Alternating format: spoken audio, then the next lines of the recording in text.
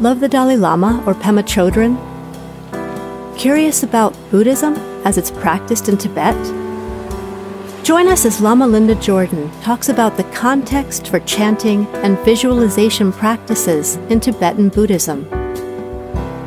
Lama Linda Jordan has been a practicing Buddhist since the late 1970s, first in the Zen tradition, and since 1980 in the Karma Kagyu lineage of Tibetan Buddhism.